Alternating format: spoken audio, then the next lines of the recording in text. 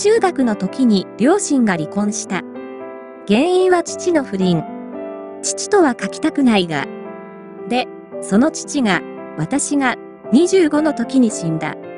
父は、母と離婚した後、不倫相手と再婚したが、不倫相手に連れ子が一人いて、二人の間には子供がいなかったそうだ。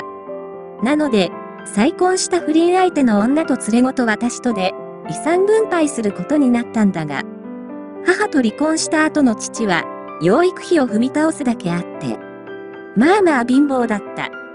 女は、再婚してしばらく経って、病気になって手術して、無理が効かない体になったらしく、専業主婦をやってた。相続の対象となる遺産は、数百万の現金と、父が祖父から相続した、ある銘柄の株が5000株ほど。両方足して、やっと1000万になるぐらい。株は、娘が大学に行く時にと、現金化せずに取っておいたんだって。賃貸暮らしで、他に何もない。連れ子は、両親が離婚した時の私と同じ年。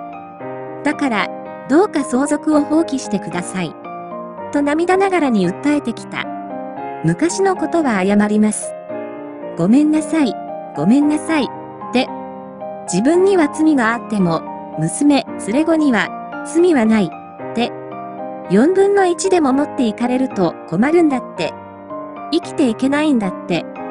うちの母は、離婚前も離婚後もキャリアウーマンで稼いでたし、母の実家で暮らしてたから、いろいろと助けてもらえてた。